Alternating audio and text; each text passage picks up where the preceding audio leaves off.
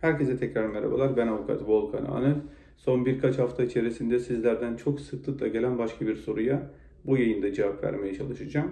Soru içerik itibariyle şu şekilde. Turist vizesiyle Amerika'ya giriş yaptınız. Kalı süresi noktasında 6 aylık bir süre verildi.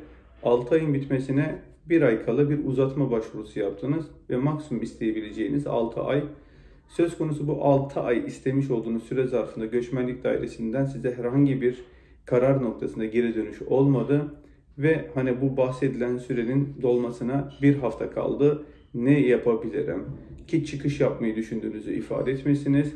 Bu durumda en son yapılacak şey çıkış olur.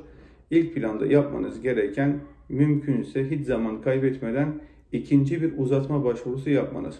Tekrar ediyorum. Olası beklemekte olan bir başvuru varken çıkış yapmanız o başvuruyu terk manasına gelecek ve red ile sonuçlanacak. Dolayısıyla yapmanız gereken talep etmiş olduğunuz 6 ayı takip eden bir 6 aylık daha uzatma istemeniz.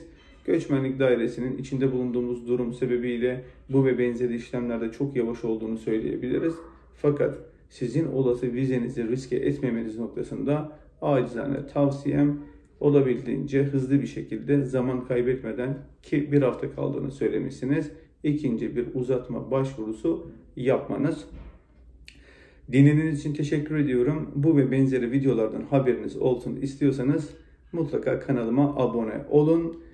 Haberiniz olsun noktasında bildirim tuşuna basmayı unutmayın. Kolay gelsin diyorum. Hoşçakalın, sağlıcakla kalın.